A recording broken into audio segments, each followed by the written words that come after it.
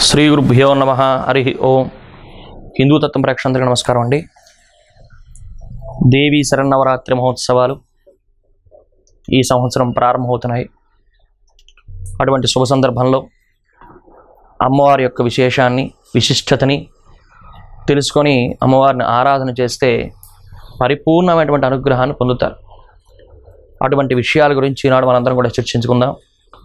ముఖ్యంగా ఆశ్వీజ శుద్ధ పాఠ్యం మొదలు దశమ వరకు నిర్వహించేటువంటి ఈ పది రోజులు కూడా శరన్నవరాత్రి మహోత్సవంలో అని చెప్పబడ్డాయి.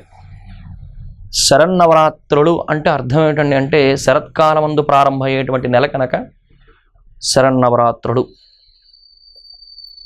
ఋతువులలో వసంతం గ్రీష్మం ఆ విధంగా ప్రారంభమయ్యేటువంటి ఋతుక్రమంలో శరదృతువు ప్రారంభమవుతుంది. ఆశ్వీజ కార్తీక మాసములు.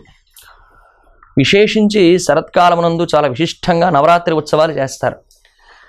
నవరాత్రి ఉత్సవాలు జరిగేటువంటి తిథులు రెండే రెండు. ఒకటి వసంత నవరాత్రి ఉత్సవాలు. రెండు దేవీ శరన్నవరాత్రి ఉత్సవాలు. ఎందుకండి ఈ రెండింటిని నిర్వహిస్తారు? అంటే ప్రధానంగా నమో సంఖ్య పూర్ణమైనటువంటి సంఖ్య. మీరు తొమ్మిదితో ఎంత హెచ్చు వేయండి? తొమ్మిదిళ్ళ పద్దెనిమిది ఒకటి ఎనిమిది తొమ్మిది తొమ్మిది మూడు ఇరవై ఏడు రెండు ఏడు తొమ్మిది. మీరు ఎంత హెచ్చు వేసినా చిట్ట చివరికి వచ్చేటువంటి సంఖ్య తొమ్మిదే. అలా తొమ్మిది సంఖ్యలో పరిపూర్ణత్వాన్ని ఏర్పడుతుంది. నవరాత్రి ఉత్సవాలు చేయడం వల్ల పరిపూర్ణమైనటువంటి భక్తి వికసిస్తుంది అని పెద్దలు చెప్తారు. ఈ శరీరం సప్త ధాతువులతో ఏర్పడేటువంటి ఈ శరీరం నవరంధ్రాలతో ఉండేటువంటి ఈ దేహం నుంచి భక్తి మార్గం వైపు మళ్ళడానికి కావాల్సిన స్థితిని ఇచ్చేది నవరాత్రి ఉత్సవాలు అని పెద్దలు చెప్తారు. అటువంటి ఆ నవరాత్రి ఉత్సవాలు మనం నిర్వహించేవి రెండు. ఒకటి వసంత నవరాత్రి ఉత్సవాలు. రెండు దేవి శరన్నవరాత్రి ఉత్సవములు అని చెప్పబడ్డాయి. వసంతకాలం మీరు బాగా గమనిస్తే కొత్తగా చిగుళ్ళు వస్తాయి. పాత ఆకులన్నీ రాల్చి కొత్త చిగుడు ప్రారంభమవుతుంది. దేనికండి ఈ క్రమాన్ని మనం అనుసరిస్తే యమద్రంష్ట కాలములు అని నిర్వహించారు.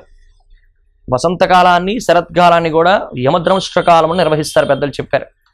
ఎందుకని అంటే యముడు ఈ రెండు కాలముల యందు వసంతకాలము యందు శరత్కాలము యందు కుడి ఎడమ ద్రంష్ట్రల్ని అటు ఇటుగా ఉంచుతాడు. ఉంచి ఎవరి ఆయు ప్రమాణాలు తక్కువగా ఉన్నాయి ఎవరికి యమగండకాలాలు తక్కువగా ఉన్నాయి ఎవరికి దోషం ఉన్నారి ఆయు క్షీణాలు ఉన్నాయని పరీక్షిస్తూ వారి వారి చోటకు వెళ్ళి తన ధర్మాన్ని నిర్వర్తిస్తూ ఉంటాడు యమధర్మరాజు. అందుకని ఆ క్రమంలో ఏమైనా గండ దోషాలున్నా యమగండ దోషాలున్నా ప్రత్యేకించి ఆయుక్షీణాలున్నా వాటి నుంచి వచ్చేటువంటి ఆ భయాన్ని ఆ ఆపద తొలగడానికి ఈ శరన్నవరాత్రి ఉత్సవాలు వసంత నవరాత్రి ఉత్సవాలు ప్రారంభం చేస్తారు.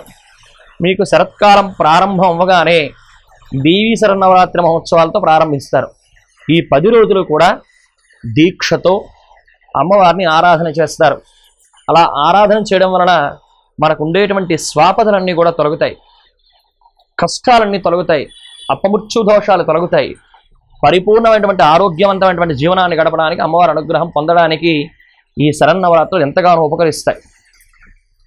ఇక వసంతకాలం అందు కూడా ఆ రామచంద్రమూర్తి అనుగ్రహాన్ని స్వామి యొక్క సంకల్పానుసారంగా అర్చన చేసి విధిగా కళ్యాణ మహోత్సవం నిర్వహించి ఆయన అనుగ్రహాన్ని పొందడం వలన వసంతకాలంలో వచ్చేటువంటి ఆపదలన్నీ కూడా తొలగుతాయని పెద్దలు చెప్తారు.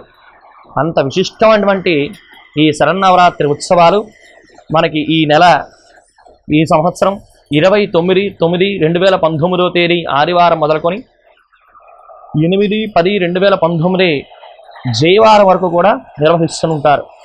అటువంటి వారాలలో ఈ రోజులలో అమ్మవారి యొక్క విశేషమైనటువంటి అలంకారాన్ని విశేషమైనటువంటి నివేదనని అమ్మవారికి ఉండేటువంటి ప్రత్యేకమైనటువంటి కథలను మనం విని తరించి భగవత్ కృపకు పాత్రలు అవుదాం విశేషంగా ఈ దేవీ సర్వనవరాత్రి మహోత్సవాలలో ప్రధానంగా చెప్పబడింది ఏమిటయా అంటే అమ్మవారిని ఆరాధన చేయండి.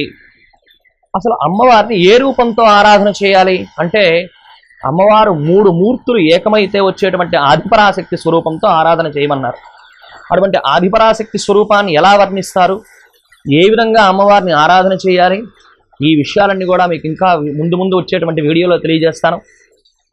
మేము చెప్పేటువంటి విషయాలను విని అమ్మవారి కృపలో పాత్రులై సక్రమైనటువంటి పద్ధతిలో ధర్మానికి ఏది ప్రమాణకంగా ఉంటుందో అటువంటి ప్రామాణికమైన విషయాలు మనం మాత్రమే చెప్పించుకుంటూ ఉంటాం హిందూ తత్వం ప్రేక్షకులందరికీ కూడా. అటువంటి సనాతన ధర్మంలో చెప్పబడేటువంటి ధర్మం ఏ విధంగా చెప్పిందో అటువంటి ధర్మం చెప్పే పద్ధతిని అనుసరిస్తాం. అలా ఏ విధంగా అర్చన చేయాలి ఏ విధంగా ఆరాధన చేయాలి ఏ స్వరూపాన్ని ఎప్పుడెప్పుడు అర్చన చేస్తే వచ్చేటువంటి ప్రయోజనాలు కలుగుతాయో ముందు ముందు వీడియోల్లో చూద్దాం.